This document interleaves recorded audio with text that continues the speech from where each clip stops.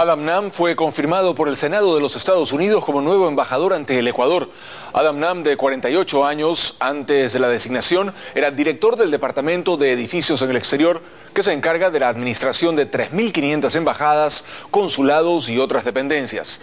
No ha sido embajador antes, pero tuvo encargos diplomáticos en Pakistán, Arabia Saudita, Colombia, República Dominicana y en los Balcanes. La embajadora de Ecuador en Washington, Natalie Selly, se congratuló por la designación y aseguró que culmina el proceso de normalización de relaciones diplomáticas que se rompieron a raíz de la expulsión de embajadores en abril del año 2011.